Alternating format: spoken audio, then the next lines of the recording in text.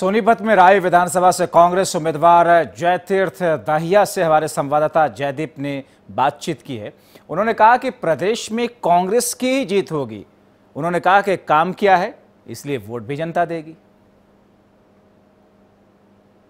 विधानसभा चुनाव को लेकर नामांकन का आज आखिरी दिन है और इस समय हमारे साथ राय से कांग्रेस उम्मीदवार जयतीर्थ दहिया जी मौजूद लगातार दो बार से विधायक हैं। विधायक जी, किस तरीके से देखते हैं अभी नामांकन दाखिल किया, चुनाव की स्थिति को? मेरे हिसाब से इस बार क्योंकि बीजेपी के पास कोई मुद्दा नहीं है विकास के नाम पे ज़ीरो है और मैं ये समझता हूँ कि ये इलेक्शन में कांग्रेस को कोई दिक्कत नहीं होगी कांग्रेस दोबारा सत्ता में आएगी। तो राय विधानसभा पिछले पाँच साल के कार्यकाल को कैसे देखते हैं? मुख्यमंत्री कहते हैं कि बहुत काम करवा दिया भ्रष्टाचार खत्म हो गया रोज़गार बहुत दे दिए आपने राई का हालत देखी है एक डॉक्टर का तो मर्डर हुआ, डेढ़ करोड़ रुपए उससे रिकवरी हुई। नौकरियों के नाम पे पैंतीस आदमियों से पैसे ले रखे थे। किसी से दस लाख, किसी से बीस लाख, वो बड़ौली का केस आपको पता ही है। और एक आदमी ने, आप जहाँ तक रोज़गार की बात है, एक आदमी ने राठ देने में मुख्यमंत्री के आगे अपने आप को आग लगाई आत्मदाह किया। और उससे ज़्यादा और क्या सबूत होगा कि यहाँ कुछ नहीं है।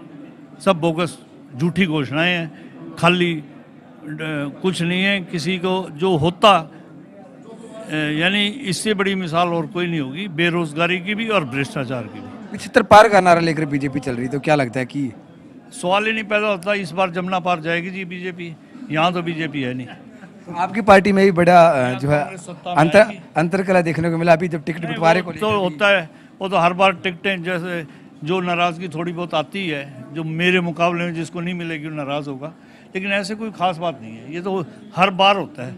और फिर कोई दूसरी पार्टियों में भी होता है ये सभी सभी पार्टियों में नाराज़गी आती है। तो की बार किन मुद्दों को लेकर जा रहे हैं जनता के बीच में? हम विकास लाएँगे और ईमानदारी से आपको दिखाएँगे। सत्ता में कांग्रेस दोबारा आएगी। ये भी जो राय जो पिछले पाँच साल में पिछड़ा है उसको हम आगे ला के दिखाएँगे। क्या लगता है कि पिछले पाँच साल में सरकार ने अनदेखी की है, राय की? बिल्कुल अनदेखी की है। जो हुड्डा साहब ने काम छोड़े थे, वो यूँ कहीं अधूरे पड़े हैं। अब हमारी सरकार आ गई। पहला काम तो हम ये करेंगे कि भाई, जो काम अधूरे पड़े हैं, उनको दोबारा स्टार्ट करें। फिर जैसे सब तहसील है हमारी, राय की, उसको तहसील बनवाएँगे। और जो बाकी विकास के कार्य हैं, सभी सड़कों की हालत ख़राब पड़ी है, वो सभी सड़कें दोबारा बनवाएँगे और सारा काम अब अच्छी तरह से चलाएँगे। ये थे जयत्री दहिया जी, जिन्होंने राय विधानसभा क्षेत्र से कांग्रेस के प्रत्याशी के तौर पर नामांकन किया है और साथ ही कह रहे हैं कि वो जनहितैषी मुद्दों को लेकर जनता के बीच जाएँगे और पिछले पाँच साल में बीजेपी ने जनता से जो वायदे किए थे, वो पूरे नहीं कर पाई। उनका हिसाब भी जनता अब की बार बीजेपी से लेगी। और इस चुनाव में जयत्री दहिया का दावा है कि वो इस सीट को जीतकर कांग्रेस की झोली में डालेंगे। सोनीपत से कैमरामैन बलवान के साथ Jaideep Rathi, R nine TV.